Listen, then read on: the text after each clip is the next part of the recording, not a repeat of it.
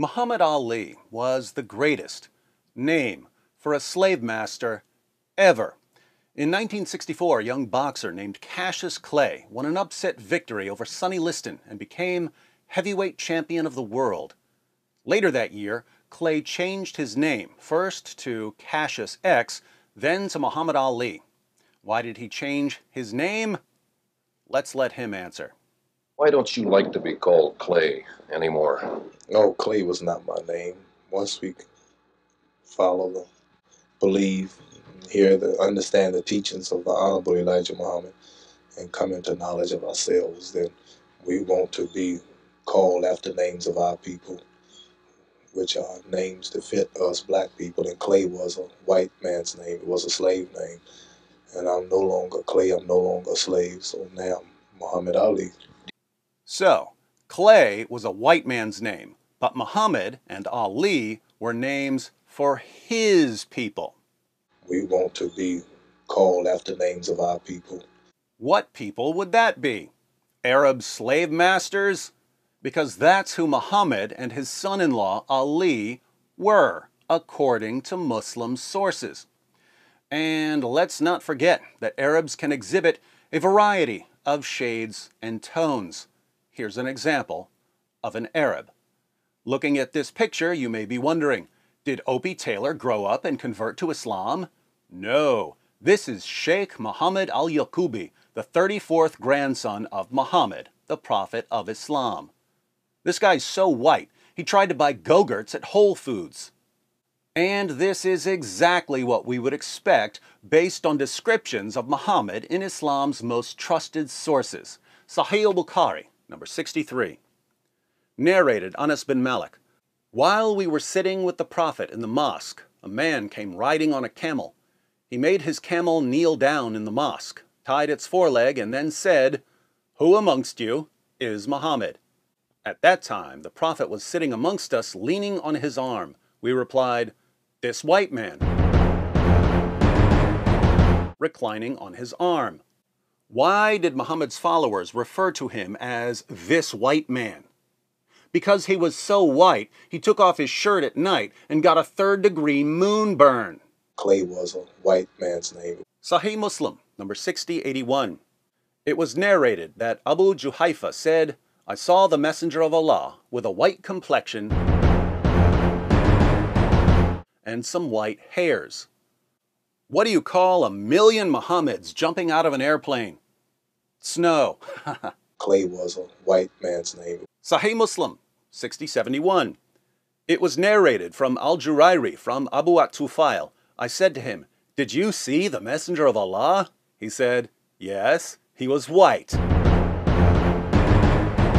With an elegant face. Muhammad's so white, he jumped into a hot tub and the water turned into creamer. Clay was a white man's name. The Muslim sources go on and on about Muhammad's epic whiteness, telling us about the whiteness of his shins, and the whiteness of his thigh, and the whiteness of his leg, and the whiteness of his stomach, and the whiteness of his forearms, and the whiteness of his armpits, and the whiteness of his cheeks. I hope everyone brought soup, because I just found the world's biggest cracker. We want to be called after names of our people. White people? Clay was a white man's name. Muhammad was a white man's name. He was the whitest prophet in history. Now, how many Muhammads would it take to screw in a light bulb? None. He would just tell one of his more than three dozen slaves to do it. Let's read about some of these slaves. Sahih al-Bukhari, number 7263. Narrated Umar, I went to the house of the Prophet, and behold, Allah's messenger was staying in a mashraba, and a black slave of Allah's messenger was at the top of its stairs. I said to him, Tell the Prophet that here is Umar bin al Khattab. Then he admitted me. Sahih al Bukhari, 6161. Narrated Anas bin Malik, Allah's messenger was on a journey and he had a black slave called Anjasha, and he was driving the camels very fast, and there were women riding on those camels. Allah's messenger said, Why haka, O Anjasha, Drive slowly the camels with the glass vessels, i.e., the women. Muhammad was so white, when his black slave Anjasha needed to beep at him, the horn on Anjasha's camel was like, honky, honky. Sunan an-Nasai, number 4625. It was narrated that Jabir said, A slave came and gave his pledge to the Messenger of Allah to emigrate, and the Prophet did not realize that he was a slave. Then his master came looking for him. The Prophet said, Sell him to me. So he bought him for two black slaves. Then he did not accept the pledge of anyone after that until he had asked, Is he a slave? So an Arab man walked up to Muhammad and said, I'd like to join you. Do you accept my pledge? Muhammad replied, Yes. But the man turned out to be a slave. So Muhammad had to buy the slave from his master. And what did he buy him with? He bought him with two of his numerous black slaves. Apparently, black slaves were only half as valuable as Arab slaves. Of course, Muhammad didn't want to keep giving up his black slaves, so he decided to be more careful about taking the pledge. Notice, by the way, how black slaves are described in Islam's most trusted sources. Trading slaves is equivalent to trading animals. Here's one about a black slave who was shot to death while unloading Muhammad's luggage. Sunan an-Nasai, 3858. It was narrated that Abu Huraira said, we were with the Messenger of Allah in the year of Khaybar, and we did not get any spoils of war except for wealth, goods, and clothes. Then a man from Banu ad-Dubayb, who was called Rifa bin Zayd, gave the Messenger of Allah a black slave who was called Midam. The Messenger of Allah set out for Wadi al-Qura. When we were in Wadi al-Qura, while Midam was unloading the luggage of the Messenger of Allah, an arrow came and killed him. The people said, Congratulations, you will go to paradise. But the Messenger of Allah said, No, by the one in whose hand is my soul, the cloak that he took from the spoils of war on the day of Khaybar is burning him with fire. So Middam, one of Muhammad's many black slaves, grabbed a cloak before the spoils were divided after the Battle of Khaybar, and that earned him a one-way trip to hell. Hence, according to Muhammad, if you take something from the spoils of war before the spoils have been divided, you're going to hell, right? Not so fast. Let's read about what happened when Muhammad's son-in-law, Ali, the Ali in Muhammad Ali's name, took a slave girl from the spoils of war without permission. Sahih al-Bukhari, 4350. Narrated Buraida. The Prophet sent Ali to Khalid to bring the khumus of the booty. The khumus was the portion of the war booty that was taken directly to Muhammad. Muhammad would get one fifth of everything taken as spoils of war, including sex slaves. And I hated Ali, and Ali had taken a bath after a sexual act with a slave girl from the khumus. I said to Khalid, Don't you see this? i.e., Ali. When we reached the Prophet, I mentioned that to him. He said, O oh, Buraida, do you hate Ali? I said, Yes. He said, Don't hate him, for he deserves more than that from the Khumus.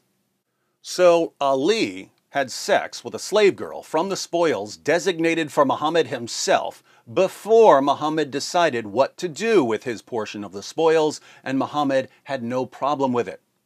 Thus, if you're a black slave and you take something from the spoils, you're going to hell. If you're Muhammad's son-in-law and you take something from the spoils, no one's allowed to question you. And it's not like Ali had to steal a sex slave from the Khumus, since Muhammad was happy to give sex slaves to his favorite companions. As we read in the History of At-Tabari, Volume 9, page 29, from the captives of Hunain, the messenger of God gave Ali ibn Abi Talib a slave girl called Reta bin Hilal. Like Muhammad, Ali was a slave owner and a slave trader. He had both black and Arab slaves. This means, of course, that when Cassius Clay changed his name to Muhammad Ali, he was taking the names of two men who bought, owned, sold, and traded black African slaves. We want to be called after names of our people. Interestingly, when he was growing up, Muhammad Ali didn't know much about the name Cassius Clay.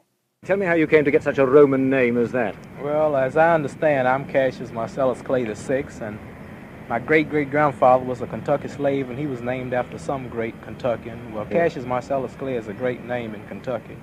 And uh, really, where he was from or where it was all originated, I couldn't tell you, but. He thought it came from some famous Kentuckian, and he was right about that. Muhammad Ali was named Cassius Marcellus Clay Jr. His father was Cassius Marcellus Clay Sr., who was named by his father, Herman Heaton Clay. Why did Herman name his son Cassius Marcellus Clay? He gave his son that name in honor of the 19th century Kentucky abolitionist Cassius Marcellus Clay, who freed the slaves he inherited from his father and donated the land that was used to build Berea College, a college that accepted students of all races from its founding in 1855. Clay was the target of repeated assassination attempts for his calls to end slavery. A paid assassin named Samuel Brown shot Clay in the chest at a public debate. Clay responded by pulling out his bowie knife and cutting out Brown's eyes. He was later ambushed by six brothers with knives and a gun. Clay fought all of them off and killed one of the brothers with his bowie knife. Clay published an anti slavery newspaper called True American. When he began receiving death threats for his paper, he bought two cannons, pointed them towards the entrance of the printing office, and said, Come and get me. After the Civil War started, Abraham Lincoln sent Clay as the U.S. ambassador to Russia. Clay convinced the Tsar, Alexander II, to threaten Great Britain and France into not recognizing or supporting the Confederate States. When Clay returned to America, Lincoln offered him the position of Major General in the Army. Clay told Lincoln that he would only accept the post if Lincoln publicly proclaimed the emancipation of all slaves in the Confederate States so that a Northern victory would ensure their freedom. Lincoln investigated the proposition and issued the Emancipation Proclamation. That's who Muhammad Ali was originally named after. He was named after the Kentucky abolitionist who helped convince Lincoln to issue the Emancipation Proclamation. But Ali didn't want that name. So he was given the name Muhammad by Elijah Muhammad. Now, it would be one thing for Ali to say, well, I just don't want a name that was ever associated with any white person or that was ever associated with any slave owner, in which case it would make sense to reject the name Cassius Clay. But if that's his reasoning, what sense did it make to change his name to Muhammad in honor of the white prophet with black slaves? And there is a lesson here for all of us. When we don't know history, when we become ignorant of history, there will always be someone waiting to step in and take advantage of our ignorance. Muhammad Ali was sick to death of white people using black people. Muslim preachers took that resentment and the resentment of an entire community and used it to spread the teachings of a man whose followers institutionalized black African slavery more than a thousand years before the United States even existed. Now, think about this. How long did the transatlantic slave trade last? About three centuries. The first shipment of slaves from Africa to Brazil was in 1526.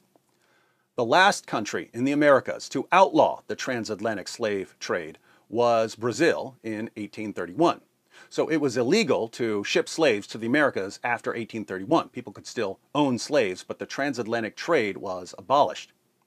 Slavery didn't last a century in the United States once the United States had formed as a nation.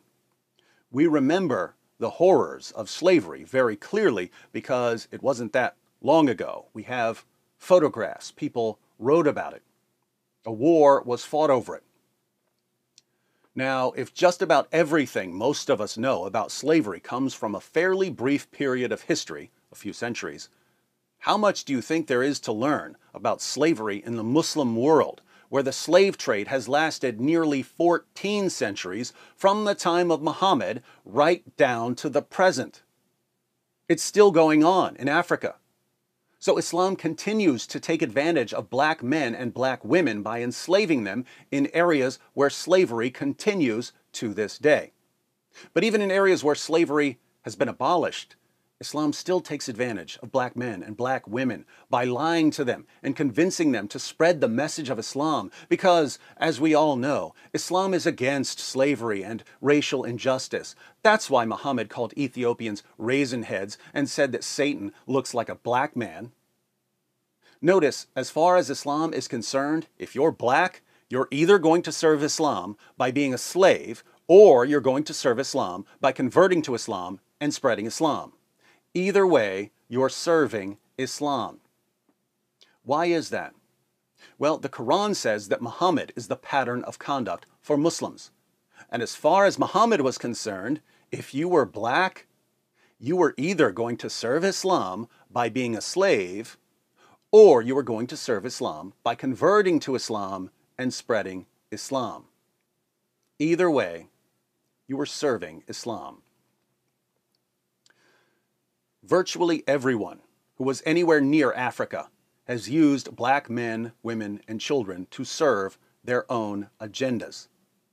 But no ideology has ever taken advantage of black men and black women more than Islam. So much so that even today, if a world class black athlete happens to be named after a white abolitionist and decides to change his name to Muhammad, the whitest prophet in history, whose followers continue buying, selling, trading, and using black men, women, and children, the world will praise him for having the courage to change his name and for setting such a wonderful example for others.